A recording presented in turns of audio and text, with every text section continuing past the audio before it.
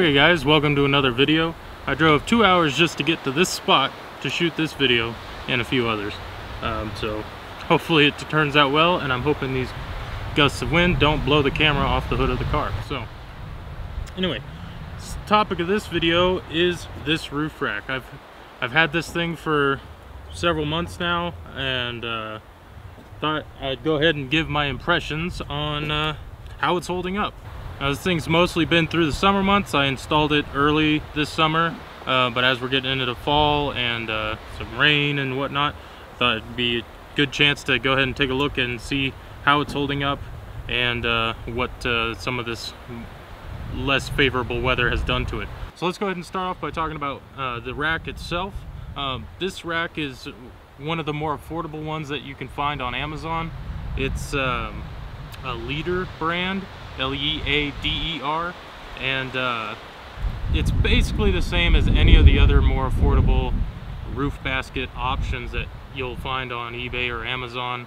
Um, essentially, they're all Chinese made and then relabeled and rebranded and sold as a bunch of different companies. I can't guarantee that they're all exactly the same, but as I've seen several of these things driving around and I've kind of taken a closer closer look at some of them, they all seem to be more or less exactly the same. So this brand, and I'll list a few others on uh, the bottom of the video or something, um, I, I would assume you should expect about the same quality on all of them. This specific one is a 64 inch long basket. Um, it's uh, the largest one you can get and it, it kind of fits the roof of the Outback perfectly.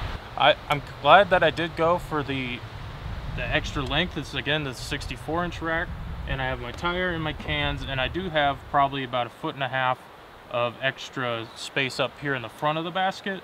Um, I, I don't put anything up here right now or keep anything up here regularly, but at the same time, if you have a basket, uh, it's nice to be able to have the extra space. So like, say you're leaving a campsite and you have like your garbage bags and you don't want to toss them in the back where they smell, you could bungee your trash bags down onto here until you get to a spot where you can drop the garbage bag off. So this one from the Leader brand on Amazon was about $160 at the time that I bought it.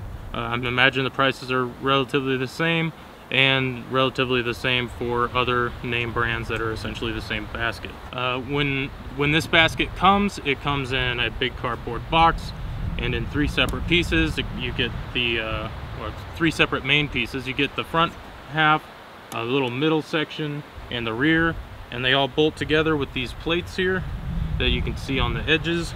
Um, they have little Allen head bolts that bolt through, and they kind of, the pipes slip into each other. Uh, when I installed it, we went ahead and added some like medium grade Loctite and uh, Loctited the bolts down just so they wouldn't come loose and the whole thing wouldn't become rattly over time. And so far, uh, they haven't come loose at all. So as you would hopefully expect from Loctite.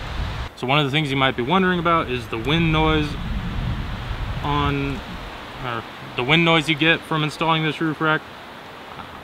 Honestly, I think everybody's ears are slightly different and they're gonna hear things differently or notice things differently depending on the car that you put it on. But with this rack on this car, I don't really notice any added wind noise. I don't know if that's just because the Subaru is loud from the start or it's just not that noisy of a rack.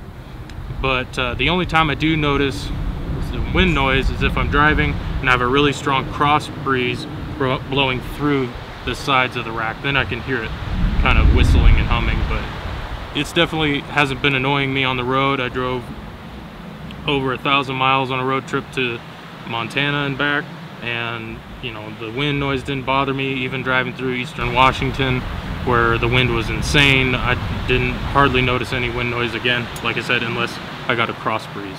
So aside from the wind noise uh, the other thing that people ask me a lot when I post pictures and stuff is uh, what kind of effect did the basket have on my fuel mileage and I did actually install this basket before I did uh, the lift and the bigger tires. And I went from about 25 miles to the gallon averaging to about 22 23 so pretty average for what you'll see out there people saying um, so about a two to three mile per gallon drop at since adding the basket. Uh, I did think of alternative ways, tried to think of alternative ways of carrying my spare and my uh, my gas cans that would allow me to remove the basket and get a little bit of fuel economy back. And unfortunately for Subarus to get um, like a rear bumper that can carry a spare and gas cans takes a lot of fabrication um, or a lot of money to have something fabricated and the the cost benefit of saving a couple miles to the gallon of fuel versus spending hundreds if not like a thousand bucks on a custom rear bumper just I couldn't see the justification in it so I just decided to go ahead and stick with the basket I don't remember the exact weight rating of this basket. I believe is 250 pounds. If I'm wrong, I'll write down below uh, or drop it here in the bottom of the video screen. Uh, but I'm pretty sure it's 250 pounds, which is right about, I think, what this roof rack is rated for, the factory one on the Subaru. Uh, as you can see, I have my full-size spare tire uh, mounted up on the roof, and I have these two Rotopax gas cans. Uh, fully loaded, they definitely don't come up to 250 pounds. And uh, bouncing around on some of these the roads that I've been on I haven't seen any of these spot welds in here break.